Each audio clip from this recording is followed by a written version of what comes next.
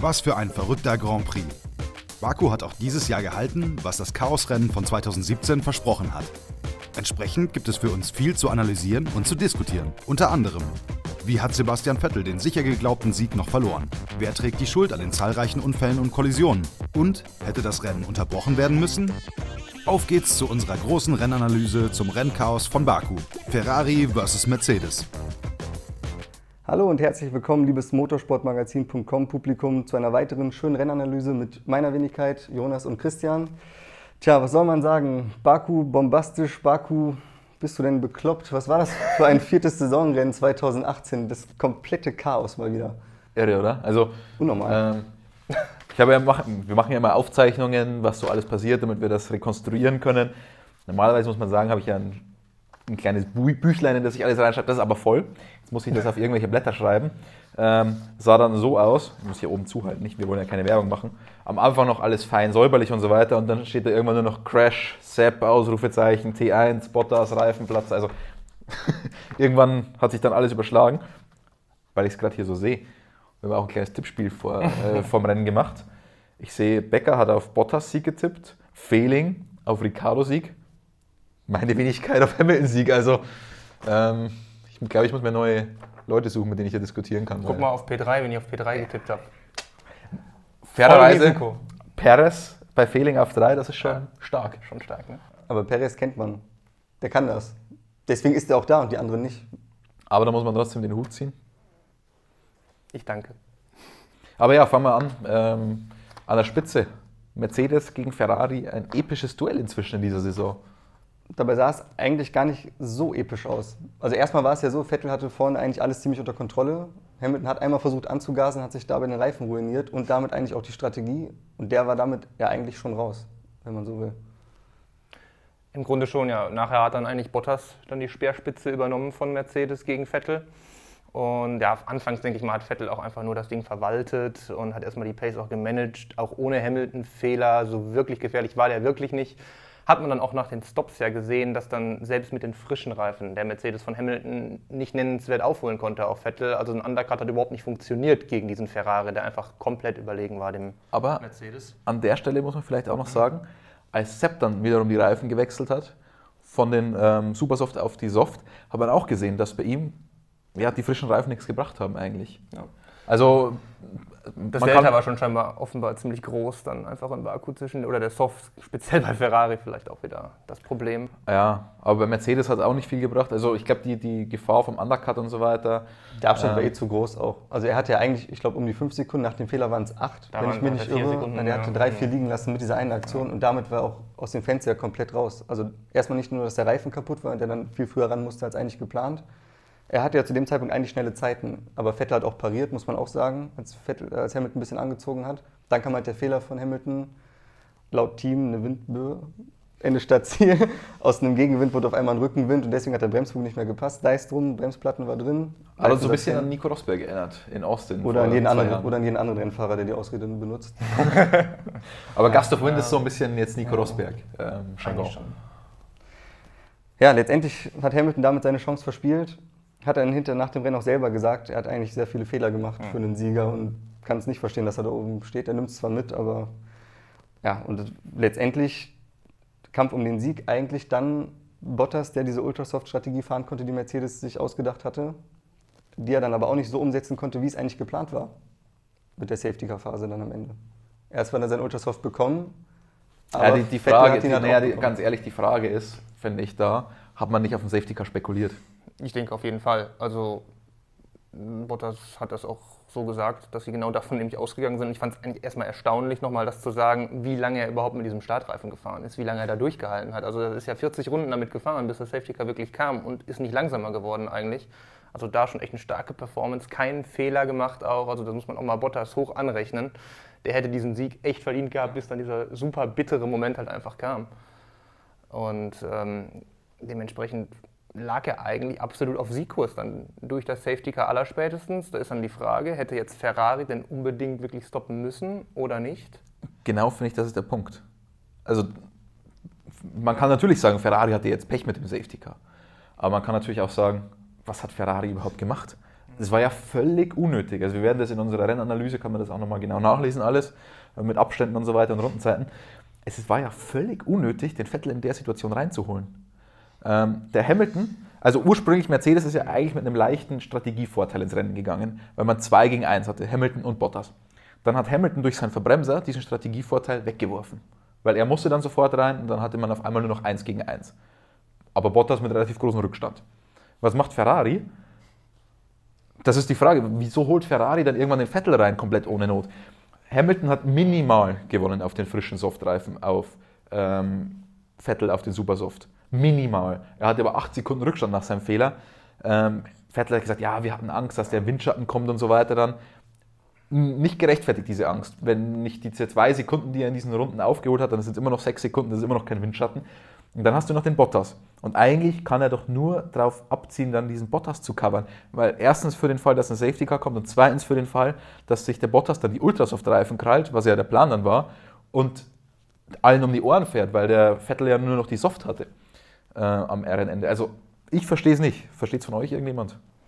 Nee, nicht so wirklich. Also das Einzige, was ich auch mir so noch denken kann, ist so ein bisschen vielleicht auch so eine China-Angst, wo Red Bull dann mit den frischen Reifen am Ende kam und dass dann deshalb gedacht wurde, ja, wir müssen auch nochmal was, was Frisches aufziehen irgendwie und haben dann sonst gar keine Chance mehr. Aber ansonsten denke ich auch einfach da einfach die, die Führung verschenkt erstmal und dann überhaupt Vettel so genötigt, äh, nochmal angreifen zu müssen, was er dann voll verpatzt hat. Ja, das äh, war echt unnötig. Ja, das war dann quasi die entscheidende Szene, wo Ferrari das Rennen dann endgültig aus der Hand gegeben hat, als Vettel diesen einen Angriff versucht hat nach, beim Restart sofort, sich verbremst hat, auf vier zurückgefallen ist, eine Runde darauf noch von Perez kassiert wurde. Da war es dann vorbei. Bei Bottas muss man wirklich sagen, ganz, ganz bitter einfach nur. Er kam halt als Erster an dieser Unfallstelle vorbei. Das hat man im Fernsehen gar nicht gesehen, dass beim Restart Magnussen mit Gasly kollidiert ist. Da gehen wir später noch kurz drauf ein. Und auf jeden Fall lagen dann die Wrackteile rum. Bottas kam als Führender als Erster vorbei, auf der Ideallinie voll drüber gefahren. Da war der Reifen hin, der Sieg weg. Also wirklich ganz bitter für Bottas. Ähm, der eigentlich, wie gesagt, wirklich alles richtig gemacht hat. Aber Ferrari, das ist halt das, was, ähm, was auch Experten wie Nico Rosberg schon gesagt haben, in China, also Ferrari, die sind strategisch nicht kugelsicher. Also die machen auch Sachen, wo man halt dann am Ende, ja, wo man dann am Ende den kürzeren zieht. Wobei ich da auch ein bisschen bei Toto bin. Ich meine, wenn sechs Autos auf einmal mit um den Sieg fahren, wird es natürlich enorm komplex, das Ganze. Aber in dem Fall, es gab einfach keinen Grund, den Vettel reinzuholen. Und damit hat man ihn in die Bredouille gebracht. Außerdem fuhren, fuhren da gar keine mehr, gar nicht mehr sechs um Sieg. Red Bull war ja weg am Anfang. Stimmt, so, das muss also man sagen. Oder zumindest spätestens nach, dem, spätestens nach der Safety-Car-Phase, ja. nach der zweiten waren sie dann auf jeden Fall weg. Aber auch vorher waren die schon weg vom Fenster, also die waren ja nicht schnell. Aber gut, ja, man weiß nie, wenn, wenn ein Safety-Car kommt und ja. dann vielleicht mit dem Ultrasoft funktioniert es vielleicht doch ein bisschen anders. Aber sprechen wir nochmal über den Verbremser von Vettel. Weil ähm, das war so ein Alles- oder Nix-Manöver, oder? Ja, so sah es definitiv aus. Also die Rauchwolke war lang genug und früh genug. Also da hat er schon on the edge den Ricardo versucht vom letzten Jahr zu kopieren, hat er nun leider nicht geschafft. Also, ja. Ich meine, vorwerfen kann man es ihm nicht, das war der Restart. Das ist am besten, wenn man es da macht. Wobei man auch da sagen muss, der Restart von Vettel war auch gar nicht mal so gut. Der Bottas hatte einen kleinen Vorsprung, der hat das richtig gut gemacht auch. Und der Vettel ist da wirklich erst ganz am Ende im Windschatten rangekommen. Wenn der einen besseren Restart hingelegt hätte, dann wäre der schon vorher auf gleiche Höhe gewesen, hätte den Move vielleicht auch machen können. Aber so musste halt auf der Bremse ganz spät erst kommen und das dann halt nicht hingekriegt. Aber passiert. Also ist ja, halt, da ist halt keiner, keiner perfekt, was das angeht. Dazu kommen wir dann gleich eh noch. Naja, perfekt ich glaube, der Ricardo hätte die Kurve noch bekommen. Ich lege mich, leg mich jetzt Bekommen hat er sie ja auch noch. Also war ja nicht wie, wie Formel 2, ne, wie Russell, dass er da den, an der Mauer leider gestanden ist. Das hätte ganz bitter ausgehen können für ja, Vettel. Ja, stimmt, ja. ja der hätte in die Auslaufzone, da wäre das ganze Feld durch gewesen. Also da ist er sogar noch mal mit zwei blauen Augen davon gekommen, wenn man ehrlich ist. Man muss aber sagen, also man, diese Szene gibt es ja tatsächlich sehr oft in Baku. Formel 2, wenn man sich anschaut, ja. Äh, ich meine, die Formel 2 hat jetzt in drei Jahren, glaube ich, 80 Restarts ähm, in Baku. Und es ist ja regelmäßig so, einer übertreibt es komplett dann beim Restart, bremst sich da rein und in der Formel 1 war es halt Vettel irgendwie jetzt. Es lädt halt auch einfach ein, diese erste Kurve. Und man muss auch bedenken, speziell, ich, auch, ich hab, bin fast vom Stuhl gefallen vor Aufregung an diesem Restart. Weil du hast ja dann gesehen, klar, Bottas war erst vorne und dann hat Vettel massiv aufgeholt, auf einmal so 500 Meter vor Ende der Gerade. Und dann hinter kamen auch noch Hamilton, Raikön, alle umeinander geknubbelt auf einmal. Und ich dachte, jetzt gibt es hier gleich mega Carnage. Hätte das ist auch noch so ein können. Punkt ne, für Vettel, dass er halt auch gucken musste, dass das nicht ja passiert wird. Er musste eh einen späten Bremspunkt sowieso haben. Wenn er sagt, ich mache jetzt safe, bleib hinter Bottas, hätte locker sein können, dass der Hamilton da vorbeigeht.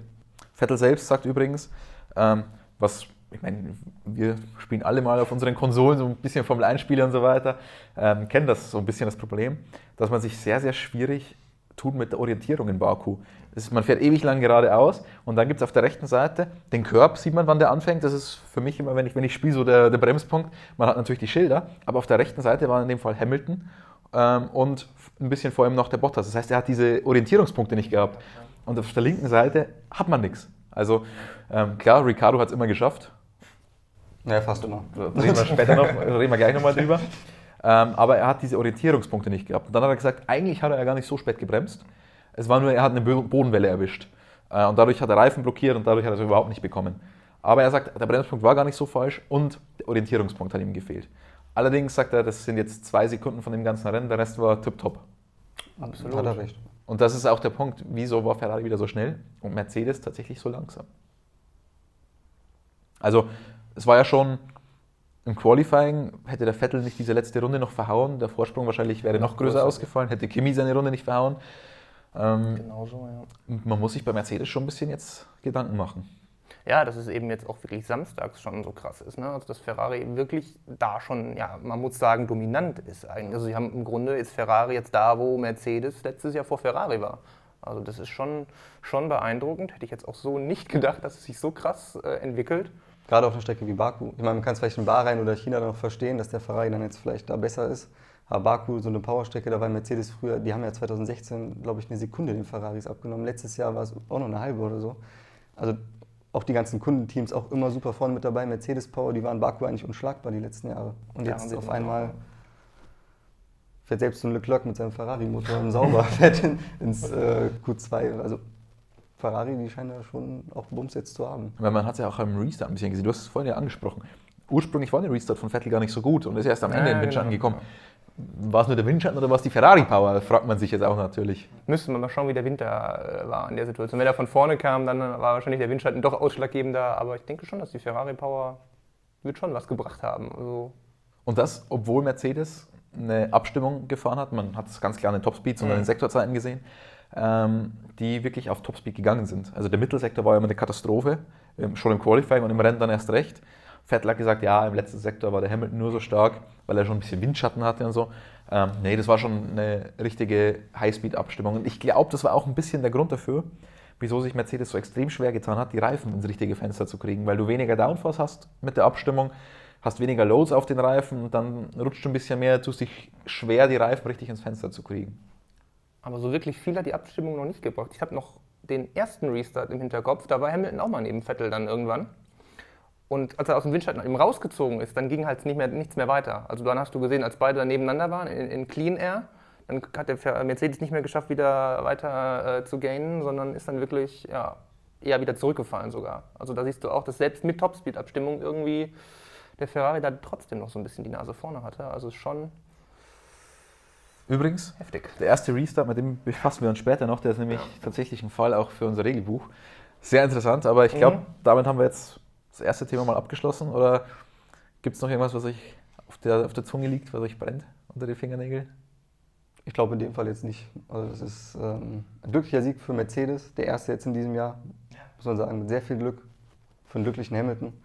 Ähm, ja, und dann in Barcelona haben wir dann eben wieder eine ganz andere Strecke, die wir von Testfahrten zwar kennen, aber da wird es dann auch wieder spannend zu sehen, ob Mercedes da zumindest im Renntrim dann wieder näher dran ist, weil wenn Ferrari da jetzt äh, so wegzieht, wie das jetzt in Baku war, dann, dann könnte es schwierig werden mit der Titelverteidigung. Verstappen versus Ricardo. Ja, kommen wir zum zweiten Thema in Baku, eigentlich fast das größte Thema. Ja, der riesige Crash von Red Bull. Wir haben es eben schon kurz angedeutet äh, bei Ricardo, wo du meintest, Flo, ne? ah, nicht immer klappt das mit dem Bremsen bei ihm. Du bist da so der Meinung, ne? der Ricardo war da schon eher schuld. Mm, muss ich schon so sagen. Also eins muss man ganz klar sagen, der Verstappen hat seinen Ruf weg. Der hat doch genug Mist gebaut dieses Jahr schon, ganz klar. Aber zu 100 Prozent, die Meinungen wären genauso, wenn jetzt die Rollen vertauscht wären. Wenn der Verstappen dem Ricardo hinten drauf gegangen wäre, dann würden Leute dasselbe sagen, bin ich von überzeugt. Was ich sehe, ist halt einfach, ja, der Move von Verstappen auf der Bremse, dieser kleine, der ist vielleicht nicht fein. Aber was ich viel eher gesehen habe, war beim Ricardo einfach, ähm, es war halt eine andere Situation. Ricardo, der ist ja sonst beim Überholen, der hat einen sehr guten Riecher, der hat eine sehr gute Intuition. Aber der macht es normalerweise so, dass er den Gegner vorne sich in Sicherheit wiegen lässt, auf der Bremse spät kommt, die Tür ist auf, er geht rein und dann der wichtige Punkt, ein Überholmanöver ist halt dann vor allem gut und dann auch safe, wenn man es schafft, beim Anbremsen die Vorderachse am Einlenkpunkt vor dem Gegner zu haben, weil dann kannst du halt die Linie diktieren, kannst dem diktieren, wo er hinfährt, nicht ihn abdrängen, aber du hast halt dann die Linie und gehst durch. In dem Fall war es aber so mit Ansage, der Verstappen, der ist so Kampflinie gefahren, der war so weit innen, dass das bisschen, was da aufging, das konnte Ricardo eigentlich auch antizipieren, dass Verstappen, wenn er die Kurve dann anbremst, dann irgendwann mal ein Stück noch rüber geht, damit er die Kurve fahren kann. Dass der Platz, der da aufgegangen ist, nicht für ein Überholmanöver langt, schon gar nicht, um dann noch vor der Kurve so zu gehen, dass halt ähm, die Vorderachse vorne ist, dass er die Kurve bekommt, ohne einen Unfall zu provozieren. Also letztendlich, selbst wenn Ricardo die Lücke bekommen hätte, meiner Meinung nach, hätte er nur, wäre nur vorbeigegangen, wenn Verstappen den Unfall vermeidet. Also Ricardo hat in dem Moment schon es ich kann es auch verstehen, der hatte irgendwo, der hat rot gesehen, nachdem was alles vorher passiert ist. Er wusste, er war schneller, er wusste, er hat ihn schon mal geknackt. Kann es auch nachvollziehen, dass er den Move da anbringen wollte. Aber letztendlich hat er sich da einfach für mich verschätzt, weil er einfach eine Lücke gesehen hat, die nicht da war. Und es wäre auf jeden Fall klüger gewesen. In dem Fall, der Verstappen ist so krass Kampflinie gefahren. Der wäre am Apex und am Kurvenausgang sowas von Gotten langsam gewesen. Der Ricardo wäre lieber nach außen gegangen, Auto zusammenstauchen, früh einlenken, früh aufs Gas und damit richtig Drive raus. Dann hätte er vielleicht Turn 2 eine Chance gehabt aber das Innen wäre nicht gut gegangen. Also Verstappen, der jetzt noch ein bisschen sich bewegt hat oder nicht, meine Meinung. Und außerdem muss man auch sagen, wenn Verstappen jetzt zu spät sich bewegt hätte, der hätte vielleicht Ricardo am Frontflügel erwischt, als er neben ihm war. Aber Ricardo ist ja stumpf hinten drauf. Und da sage ich halt ganz Flo? einfach, hat Ricardo sich dieses Mal verschätzt. Lange Rede, kurzer Sinn. Du, lange Rede, kurzer Sinn, du hast nicht recht. ähm, du aber auch nicht, weil die Stuart sagen was ganz anderes.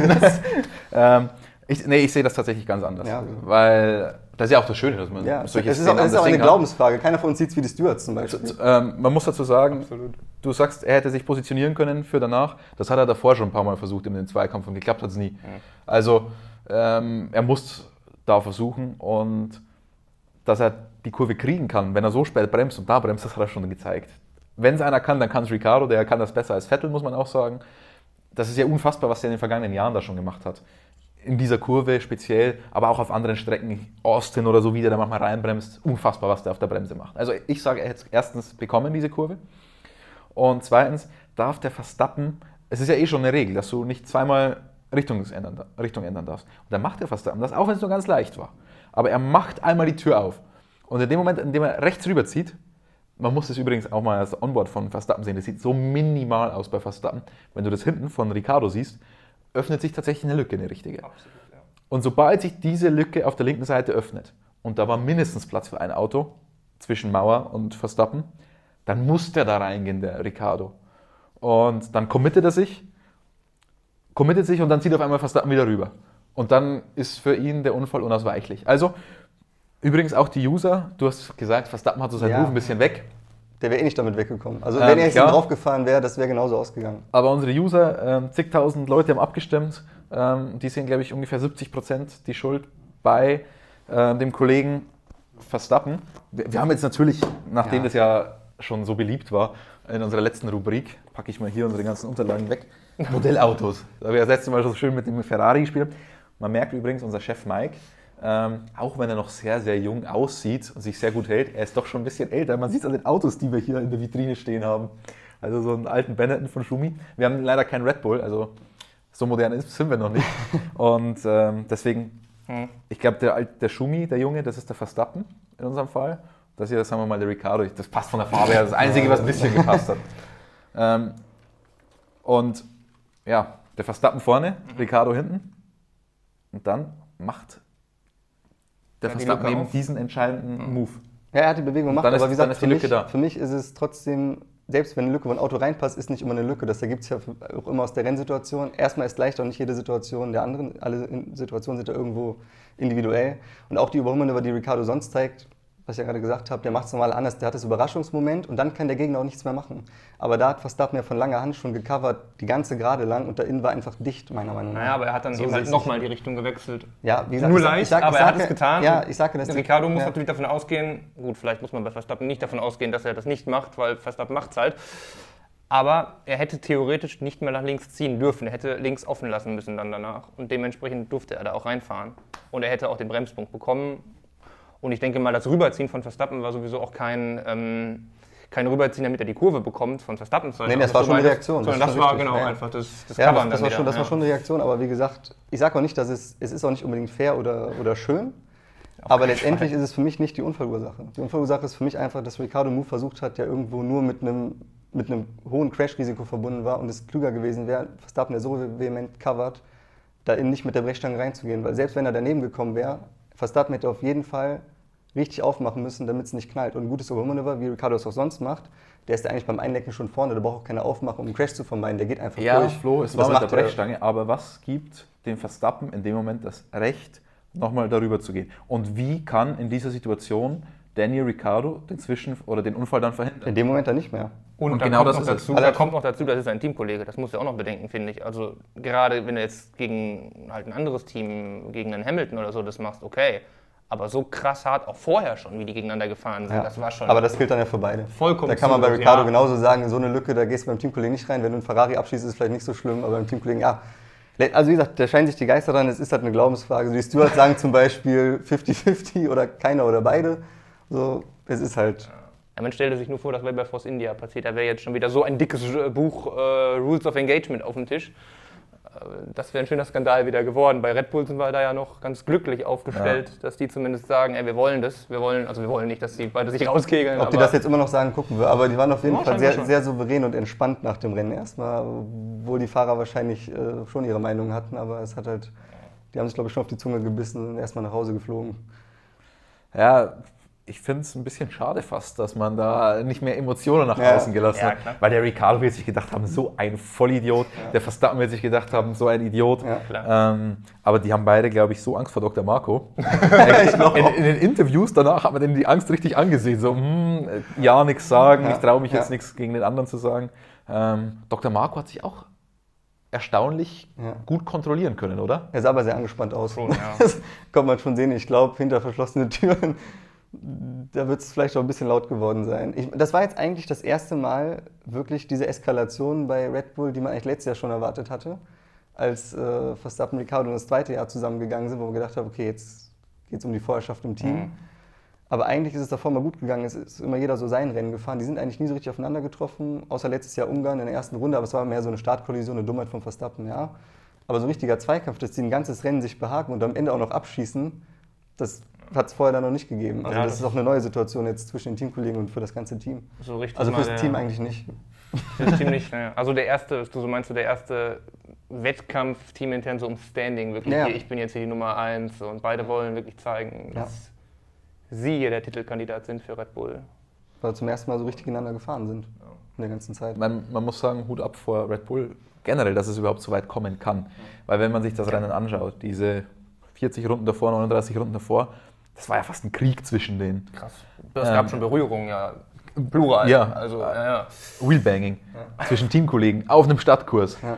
Das ist ja komplett irre eigentlich. Ja. Noch dazu, wenn man sich überlegt, dass die Formel 1 heute ja nicht mehr so funktioniert. Die Formel 1 funktioniert so, man sieht, der eine ist schneller, dann sagt man den anderen, ja, okay, lass den vor, weil es für das Rennergebnis des Teams besser ist. Red Bull hat sich dagegen entschieden und das rechne ich dem Team extrem hoch an. Auf jeden Fall. Aber also das wäre, glaube ich, so eine Entscheidung gewesen, wenn die das jetzt wirklich gemacht hätten. Also einmal gut, man sagt, Verstappen ist immer so das Lieblingskind von denen. Ich meine, der hat doch schon seinen langjährigen Vertrag jetzt verlängert. Ricardo ist nur in der Schwebe. Aber gleichzeitig heißt es auch, und das sagt Ricardo selbst auch, ich bin keine Nummer zwei. Und das haben die auch jetzt ganz klar gezeigt, das ist er auch nicht. Er durfte ihn angreifen, er durfte ihn überholen. Naja, aber haben sie das gezeigt oder haben die nicht einfach gesagt, eigentlich, ich habe es angesprochen, andere Teams sagen, der Hintermann ist schneller, lass den vorbei, weil das für unser Rennergebnis, für unser Gesamtergebnis besser Unabhängig ist. vom Fahrerstatus. Genau. Ist so, ja. Und hat man vielleicht nicht jetzt sogar gesagt, man macht das nicht, weil der Verstappen unsere Nummer 1 ist und weil der Ricardo die Nummer 2 ist. Ähm, wenn der Verstappen hinter ihm gewesen wäre, hätte man vielleicht gesagt, du Daniel, der Max ist schneller, lass den mal vorbei. Ähm, mich hat das insgesamt, ich meine, wir sehen die Schuld ja eher bei Verstappen, bei dem Unfall. Bei Red Bull hat man gesagt 50-50 und so. Mhm. Mich erinnert das so ein bisschen an 2009 Türkei, an Weber Vettel, als Vettel eigentlich klar schuld war an dem Zwischenfall und man bei Red Bull ja auch nicht sich committed hat zu sagen, das war Vettels Schuld, sondern auch eher so fast noch ein bisschen mehr auf Weber geschoben hat. Wobei es da richtig offensichtlich war. Und den Weber damit ja auch gar nichts zu diskutieren. Genau, eigentlich nicht. Und damit hatte man auch den Weber so ein bisschen gebrochen. Dann kam dieses Nummer 1, Nummer 2 Fahrer schon und neue Teile in Silverstone damals und so weiter. Dann hat das alles angefangen. Ist man nicht vielleicht jetzt an dem Punkt bei Red Bull, wo das wieder so laufen könnte? Ja, ich glaube, der, der Punkt Ricardo-Vertrag spielt ja schon eine Rolle, dass du gerade angesprochen hast, weil wenn der mal seine, sich da mal committen würde zu Red Bull, dann würde es vielleicht wieder anders aussehen. Aber das ist im Moment so ein Punkt, der da vielleicht wirklich ein Faktor sein kann, dass man dann eben gerade wirklich auch eher mit Verstappen planen muss und sich auch lieber den warm hält, weil man halt nicht weiß, macht der Ricardo überhaupt bei uns weiter oder nicht. Weil ansonsten, wenn beide jetzt klare Zukunft hätten bei Red Bull, sehe ich jetzt keinen Grund dafür, dass man sich da jetzt für einen bekennt, weil die sind einfach für mich zu ausgeglichen. Das Duo bei einem, bei einem Weber, der schon seine, sein, sein Alter hatte, der Ricardo ist jetzt auch schon routiniert, aber jetzt beileibe kein, keiner, der jetzt irgendwie in zwei Jahren dann aufhört oder aufhören muss. Ähm, entsprechend äh, sollten die eigentlich bei, einem, bei einer vertraglich gleichen Situation da vollkommen gleich behandelt werden und äh, glaube ich, dass das einfach vielleicht der kleine eine Punkt sein kann. Aber unfassbar interessanter Zwischenfall. Nicht nur der Zwischenfall selbst, sondern auch die Vorgeschichte. Ja, ja, alles, ja. Ähm, wie gesagt, ich hoffe jetzt nur, dass Red Bull nicht mit den Rules of Engagement kommt, mit den berühmten. Was glaubt ihr, wird es die geben? Ich glaube jetzt beim ersten Mal noch nicht. Das ist eigentlich bei fast keinem Team so. Beim ersten Mal, ich meine, sie haben es ja wirklich jetzt die letzten Jahre, fahren jetzt schon zwei, ja doch, 2016 fast das ganze Jahr, eigentlich schon zwei, ja, zwei Jahre jetzt zusammen, wenn man so will und ähm, nie richtig in die Quere gekommen. Es gab ja auch schon harte Zweikämpfe in Malaysia 2016 damals, da haben sie es auch richtig gegeben. In einer schnellen Passage sogar auch nebeneinander und so, alles gut gegangen, keiner abgedrängt worden. Also sie haben schon gezeigt, dass sie es auch können. Ähm, aber jetzt haben sie, glaube ich, zum ersten Mal beide so ein bisschen den Kopf verloren. Und da ist jetzt die Frage, also ich denke, das Team wird jetzt noch nichts machen. Aber dann ist natürlich die Frage, treffen die nochmal aufeinander, was passiert dann? Und ich glaube nicht, dass einer nachgibt. Was glaubst du, Jonas? Gibt es die Gibt es das Regelbuch? Ich glaube, wenn es nochmal passiert, dann können sie sich das Regelbuch auch wieder sparen, weil dann, wenn sie nochmal einen Doppelausfall hinlegen, ist sowieso alles egal. Dann sind die in jeder WM-Wertung sowieso raus, dann können sie sowieso wieder frei fahren. Also deshalb glaube ich, äh, kommt nichts. Hoffen wir es mal auf jeden Fall. Insofern, ultra interessante Konstellation, Situation dort.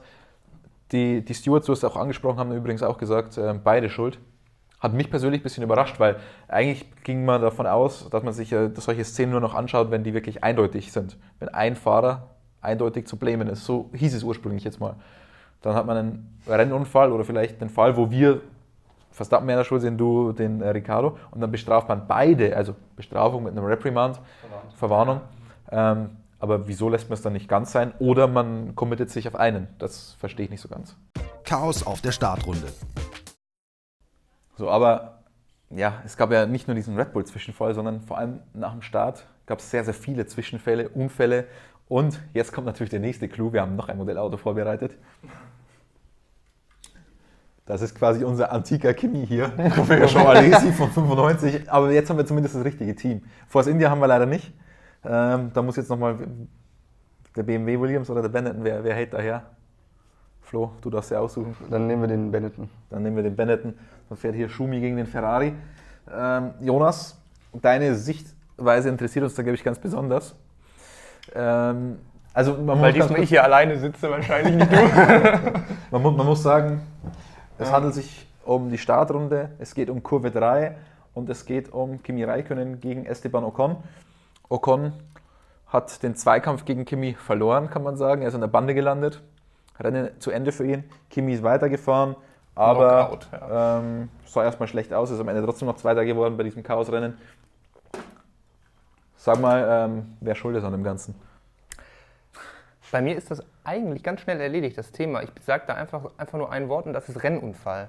Also für mich war das kein, kein, gar kein so großes Thema. Also klar war das ein großes Thema, weil äh, erstmal schien auch für Kimi das Rennen komplett kaputt gab dann zum Glück nur einen kleinen Frontflügelschaden, der dann durch das Safety Car auch zeitsparend und sogar zum Vorteil noch, weil er seinen Ultrasoft loswerden konnte, ähm, erledigt werden konnte. Aber die, die Sache selbst, ähm, ja, es ist für mich einfach, einfach deshalb ein Rennunfall, weil es ist A, erstmal einfach immer noch verlängertes Startgetümmel und B, ist dann einfach der, ähm, also Raikön war ja, war ja innen und Ocon war außen und ja, Ocon hat dann erzählt, ja, ähm, genau, wenn wir, die, wenn wir die Autos nehmen, also sie kamen im Grunde von, von Kurve 2 so und Kimi kam dann wieder auf und am Bremspunkt war, Position war ungefähr so. Also ah, ich glaube, der Ocon war ein bisschen nee, nee, weiter vorne. Nee, schau's nochmal an.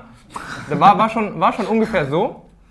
Und jetzt war aber kurz vorher noch, die, noch, noch der Punkt, Ocon muss Kimi sogar irgendwie gesehen haben, auch wenn er das, er muss erstmal wissen, das meinten nachher auch die Stewards dann in ihrer äh, Begründung.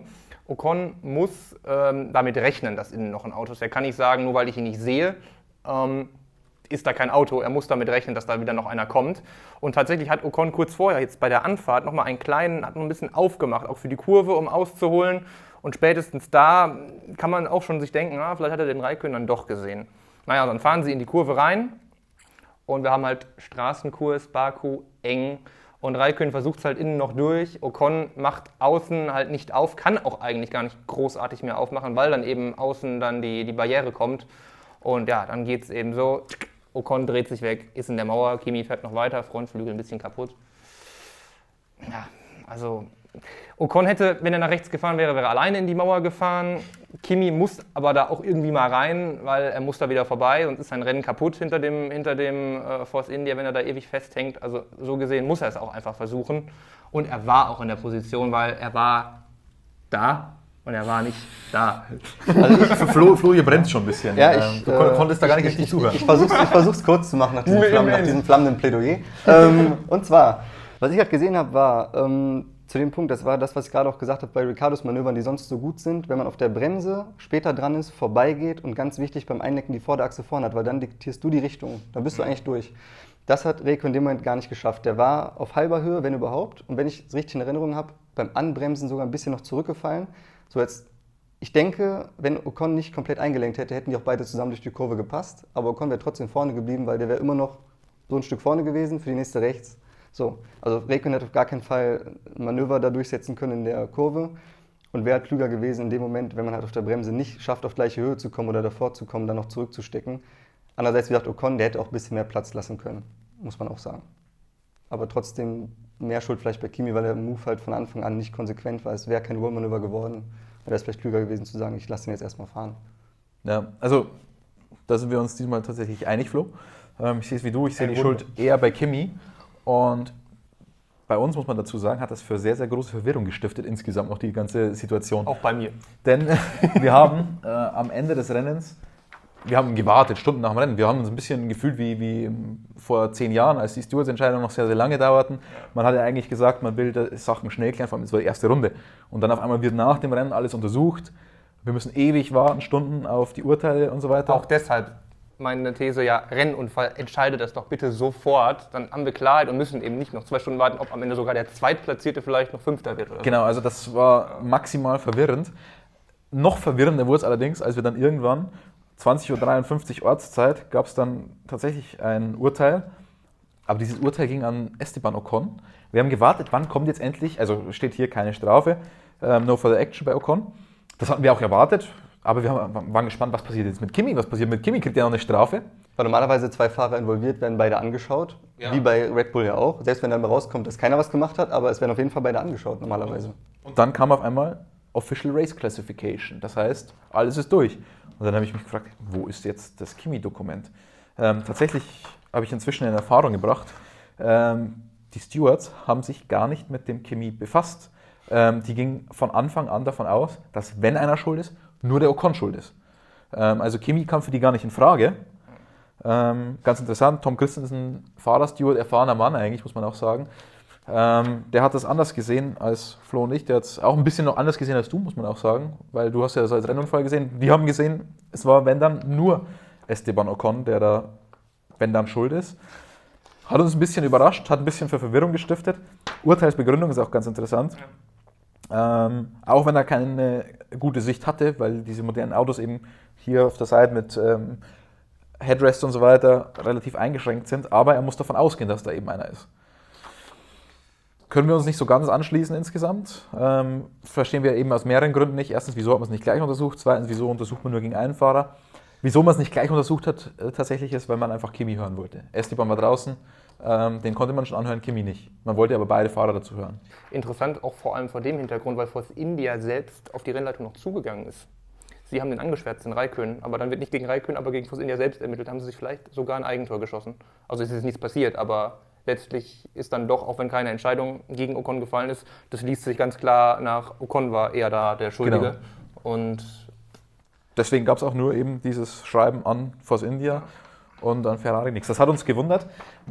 Das war aber nur ein, ein Teil von, von, von Lab 1 Carnage, kann man sagen. Von 100 Unfällen. Ähm, ja, jetzt, jetzt kommt Flo's Lieblingsunfall. Jetzt brauchen wir sogar noch ein drittes Auto. Ja, absolut. Das brauchen wir so, da passt auch der, ähm, der Williams jetzt. Jetzt wird das alles ein bisschen kompliziert. Ja. Der, der, Williams muss in die Mitte. Der muss in die Mitte. Der Kollege Stroll. Das geht als, als Renault auch gut durch, der ja, Bennett. Der geht als Renault durch, da musst du noch tauschen. Ja. Das ist der Benetton Renault. Die 27 ist der Höck, dann kannst du dann... Nee. Na doch, doch, doch, nee. die 27 ist der Höck und der Benetton, das ist ja... Der Höck ist doch der Renault. Das ist schon so der... Das ist halt der Benetton Renault, das wäre ganz Ja, okay. Ja, dann machen wir Höck. Aber es ist doch McLaren Renault. Naja, komm. Egal. Also auf jeden Fall ist das jetzt Alonso, das ist Sirotkin, und das ist der Herr Hülkenberg. Ja. So, und die kommen jetzt aus Kurve 1 raus. Aus Kurve 2. So, äh, aus Kurve 2, Entschuldigung. Ähm, auf, die, auf die kleine Gegengerade. Hülk vorne, daneben Sirotkin und daneben Alonso. Und Sirotkin, der übrigens davor noch dem Ocon, glaube ich, nee, wem ist er reingefahren? Im Turn 2? Perez. Perez ist er reingefahren. Genau. Hat auch ähm, eine Strafe bekommen. Ja. Der war halt in der Mitte. Und normalerweise drei nebeneinander auf der Geraden, das passt eigentlich. Aber dann ist der Nico Hülkenberg so ein Stück rübergezogen und hat dann den Sirotkin in den Alonso geschoben. Sirotkin ist dann in der Mitte so ein bisschen zurückgefallen und dann weiter hinten hat dann auch der Hülkenberg vorne den Alonso touchiert. Ähm, ja. Und das Auto von Alonso, das sah danach äh, so aus, das sieht man auf Formel 1 nicht so oft. Äh, Richtig schön. Ja. Kommen wir dann gleich eh nochmal ein bisschen zu bei den äh, Fahrerhärtefällen beim Ranking. Muss ich sagen, also erstmal die Situation an sich, ähm, die Stewards haben es gar nicht geahndet. Die haben gesagt, Rennunfall, da passen nicht drei nebeneinander. Also rein optisch passen da schon drei nebeneinander, aber gut. Ähm, Schuld muss man in dem Fall sagen, ist, wenn, dann Hülkenberg, weil der ist halt außen gewesen, hat, ist rübergezogen. Ja, Sirotkin konnte nirgendwo hin. Alonso war schon sehr weit links eigentlich. Sei es drum, ist dann halt passiert. Rennunfall kann man durchgehen lassen. Wenn man einen irgendwo verwandt hätte, dann vielleicht Hülkenberg. Aber das Kratze war ja eigentlich danach, wie das Auto von Alonso aussah. das ja, das war sensationell. Auf der rechten Seite zwei Plattfüße hatte und das war noch so am Anfang der Runde und dann, Alonso hat hinterher gesagt, er glaubt, jeder andere hätte das Auto abgestellt. Und ich glaube es ehrlich gesagt auch, ich habe noch niemanden gesehen, der mit so einem Auto weitergefahren ist. Der hatte auf der rechten Seite. Du kommst jeden Tag mit so einem Auto in die Arbeit. Ne?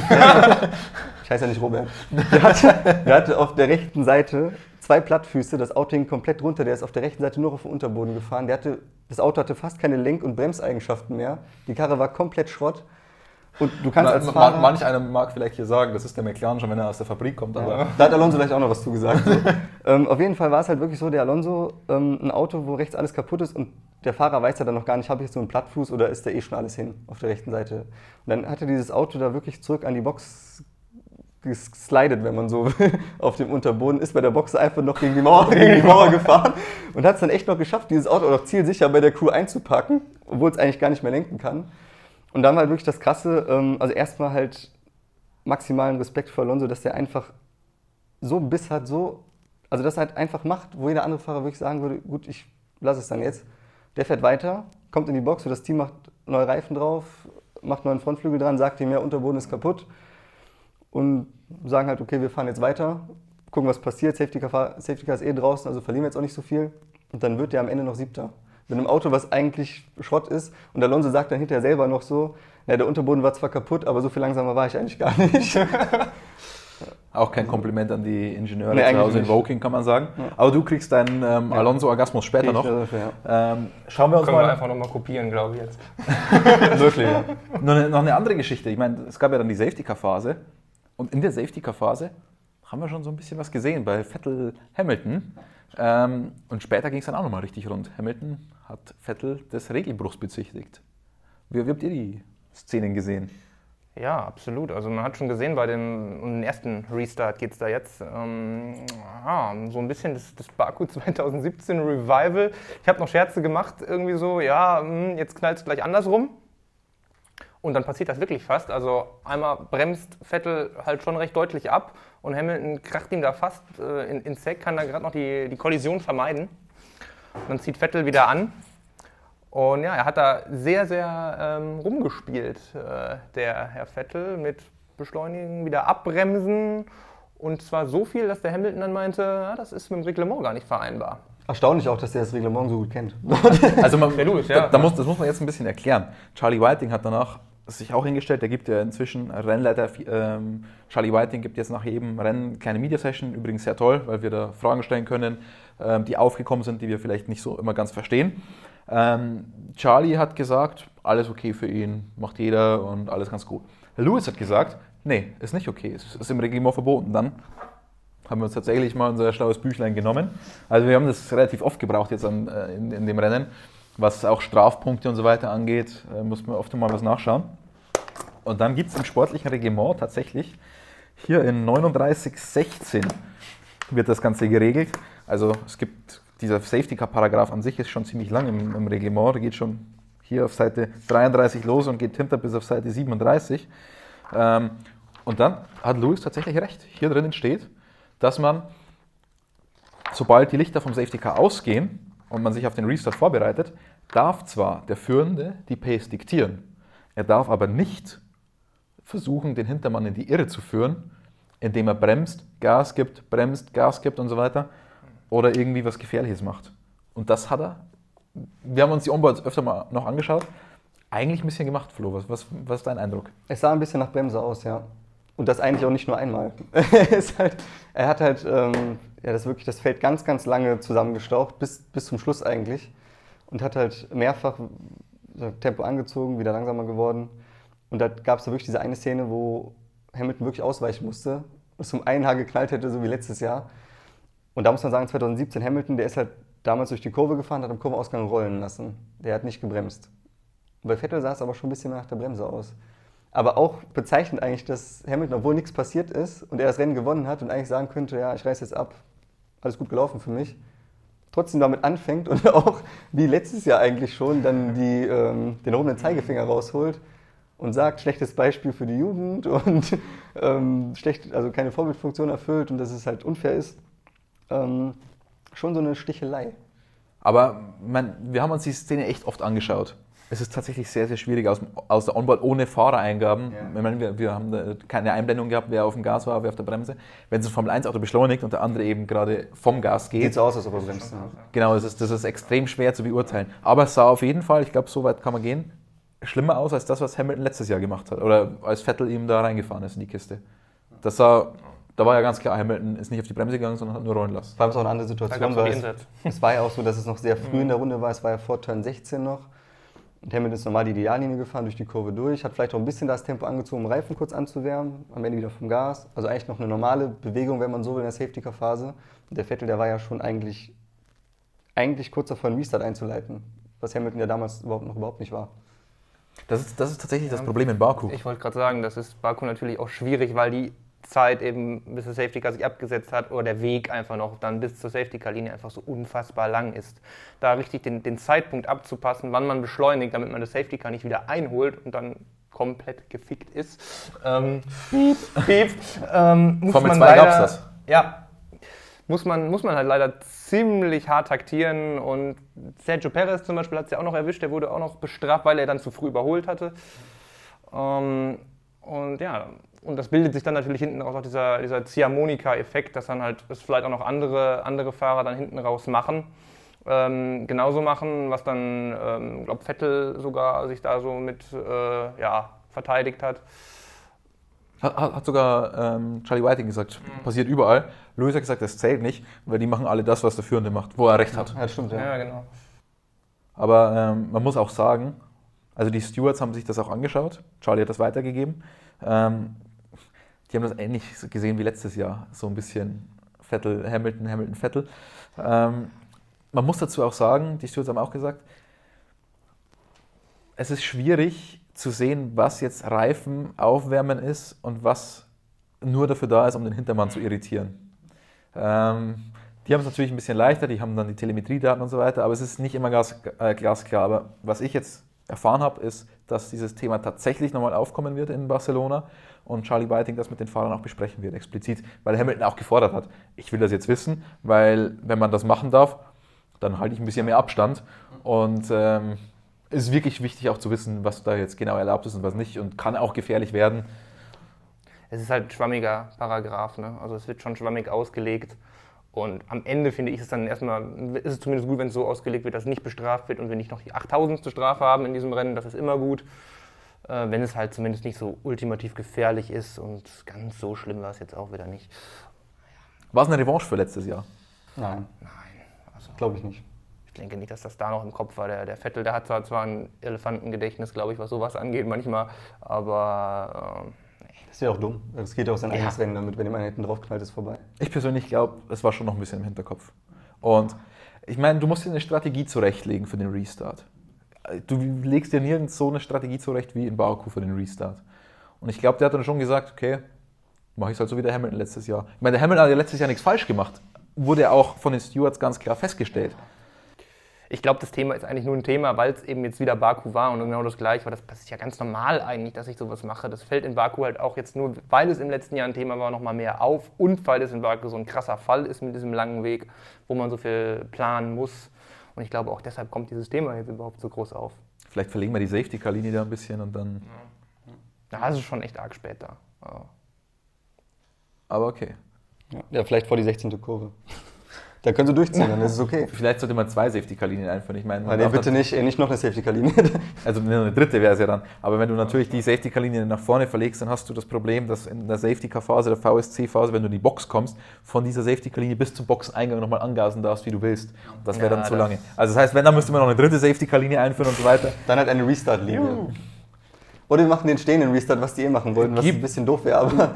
Restart-Linie, äh, Charlie Whiting hat tatsächlich gesagt, es ist ja nicht so wie in anderen Serien, wo du eine Beschleunigungszone hast von ein paar hundert Metern.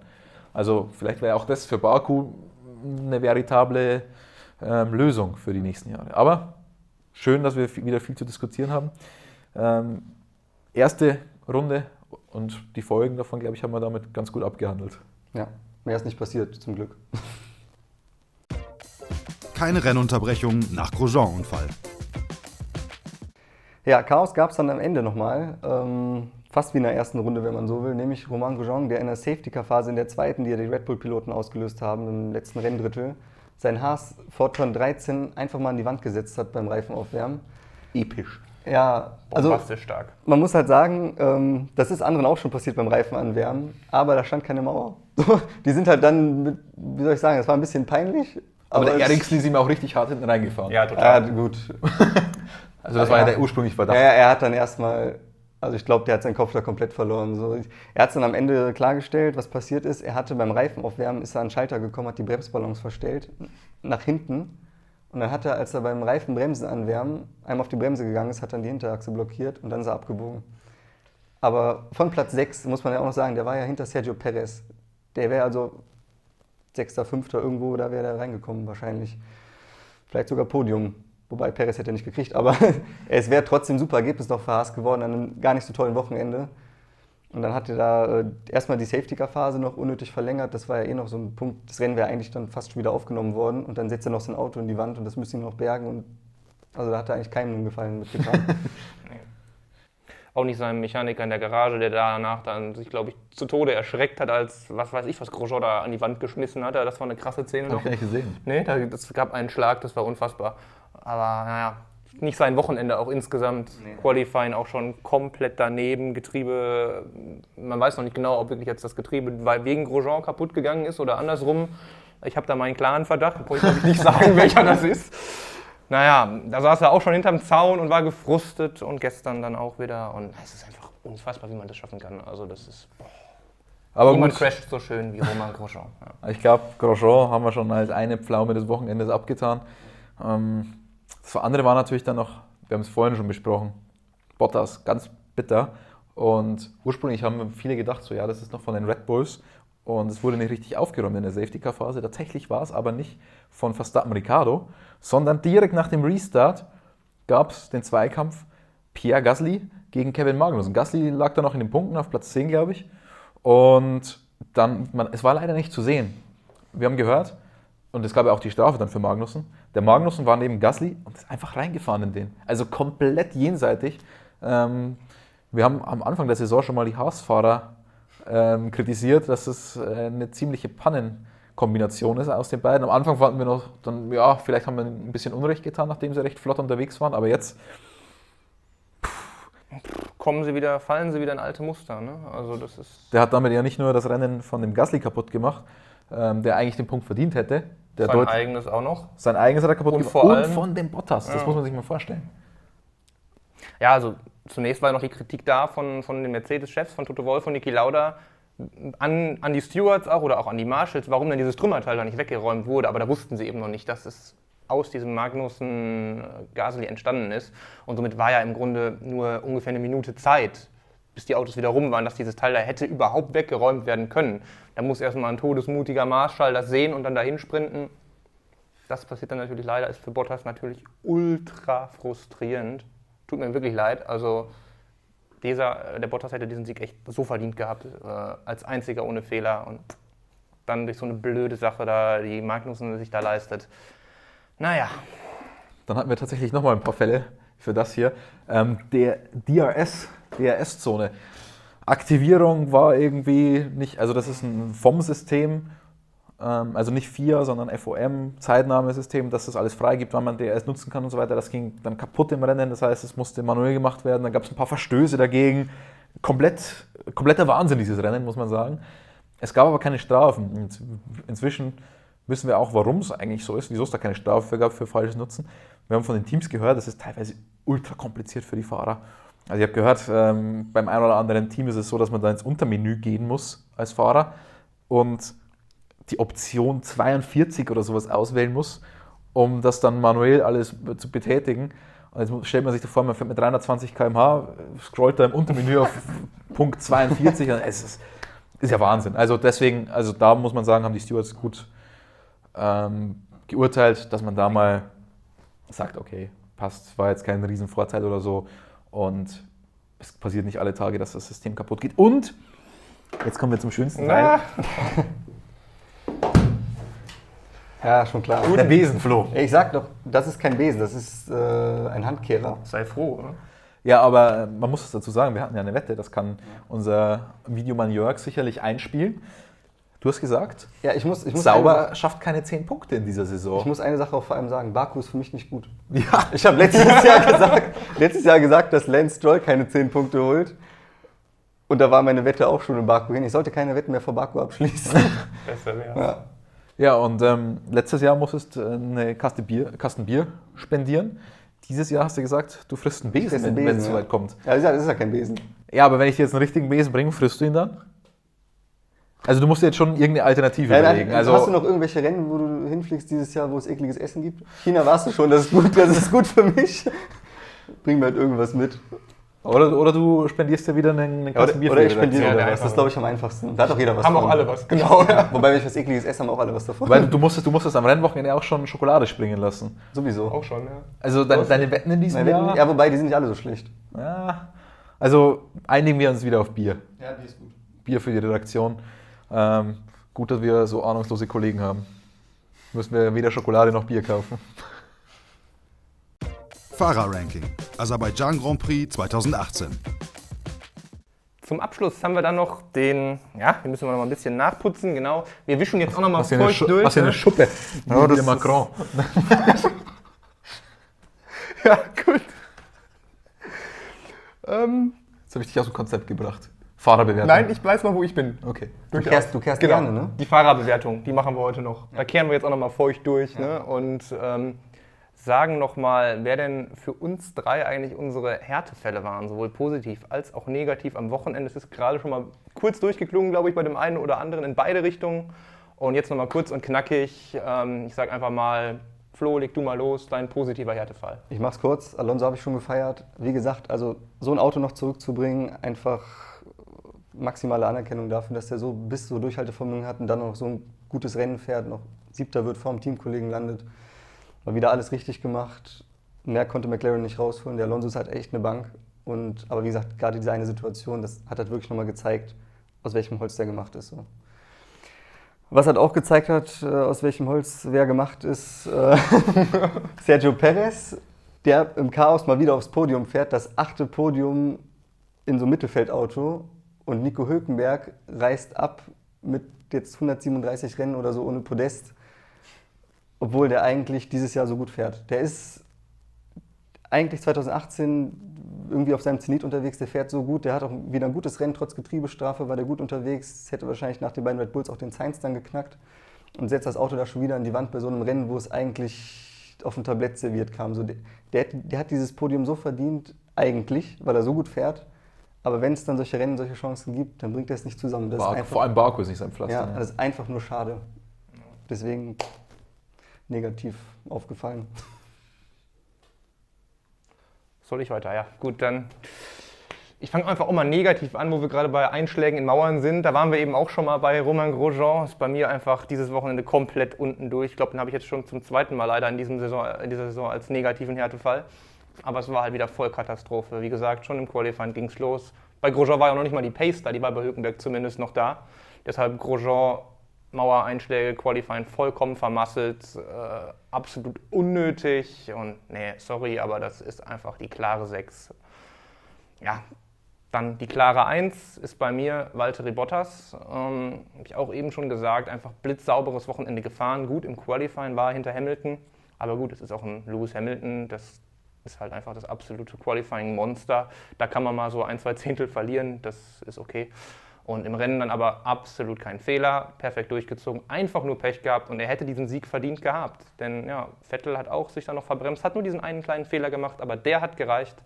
Und Bottas einfach perfekte Leistung, Reifen super gemanagt und ja, auf den Punkt. Ja, bei mir ist ähm, der positive Härtefall sehr erfreulich, denn ich habe vor der Saison auf Rookie des Jahres Charles Leclerc getippt und die ersten Rennen waren ein bisschen enttäuschend, muss man. Also das erste Rennen war gut, aber Qualifying war immer so ein bisschen enttäuschend gegen Ericsson. Jetzt hat er wirklich mal gezeigt, was er kann. Der hat letztes Jahr schon beide Rennen der Formel 2, GP2 in Baku gewonnen. Also der hat das da irgendwie richtig drauf und der Vergleich mit Markus Ericsson bei der Pace unfassbar. Also der hat den gebügelt, hat den sauber in Q2 gebracht, ein sensationell gutes Rennen gefahren, auch mit Überholmanöver. Ich glaube, der ist einmal sogar an Kimi vorbei. Dann wurde er wieder von Kimi überholt, aber absolute Topleistung für mich, ganz klar. Bester Fahrer des Rennens, des Wochenendes. Auf der anderen Seite, nach dem Qualifying dachte ich mir eigentlich, Brandon Hartley, den kann keiner mehr von den Pfeifen des Wochenendes verdrängen, nachdem was er da geleistet hat. Erstmal selber angerandelt, dann nach dem Teamkollegen das Qualifying versagt und für einen riesen Horror-Crash fast gesorgt. Aber dein Kimi hat es dann doch noch geschafft, den, den zu verdrängen, denn der hat nämlich auch ein Horror-Qualifying hingelegt. Im Q2 hat er sich schon versaut, ähm, hat sich nicht auf den äh, Supersoft-Reifen qualifizieren können, musste dann die Ultrasofts draufschnallen. Im entscheidenden ähm, Q3 hat er dann zweimal einen Fehler gemacht in der letzten Kurve. Besonders bitter, weil er eigentlich wieder schneller war als der Vettel. Der war schneller als der Vettel im Training, der war schneller im Q1 sogar, glaube ich, noch als der Vettel. Und dann macht er solche auch. Fehler. Das ist unfassbar, das darf nicht passieren. Und im Rennen dann, ich habe es auch schon gesagt, für mich eher ein Fehler von Raikkonen als von Ocon. Also ich weiß nicht, irgendwie in den vergangenen Jahren war es oftmals Pech, dass er auch zusammengekommen ist bei ihm. Jetzt war es, ja, es ist bitter, weil er, hat, er hatte die Pace, er hat die Pace in der ganzen Saison, aber an dem Wochenende, sorry Kimi, das war gar nichts. Ja, mit dieser fragwürdigen Einschätzung von Christian sind wir dann auch erstmal durch. Und äh, ja, ich kann euch nur noch mal unsere äh, neue App äh, wärmstens ans Herz legen. Ähm, runterladen, immer die neuesten News direkt aufs Smartphone kriegen, auch per Push-Benachrichtigung. Wenn ihr diskutieren wollt, User-Fragen könnt ihr hier immer stellen in den Kommentaren. Ähm, wenn ihr aber auch noch euch noch mehr austauschen wollt, nicht nur hier, haben wir auch noch eine neue Facebook-Gruppe gestartet für die Formel 1, wirklich nur für die Formel 1, für die beste Motorsportserie dieses Planeten, ganz klar. Und äh, ja, kommt rein, ist auch unten verlinkt in der Beschreibung. Und wir ja, verabschieden uns dann hier erstmal mit der Baku-Analyse und hoffen, ihr habt jetzt hier einen schönen Spielfilm genossen und ja, sagen dann schon mal bis Spanien. Wow, erstmal durchatmen. Dann geht es nach zwei Wochen weiter nach Barcelona. Bis zum nächsten Spanien Grand Prix haben wir noch viel spannende Videos für euch geplant. Klickt am besten gleich auf das Glockensymbol, um immer direkt über neue Videos benachrichtigt zu werden. Und verratet uns doch in den Kommentaren, wer euer Favorit im Titelkampf ist. Und wenn euch das Video gefallen hat, drückt den Like-Button und abonniert unseren Channel, damit ihr kein Video mehr verpasst. Bis dahin, euer Motorsportmagazin.com.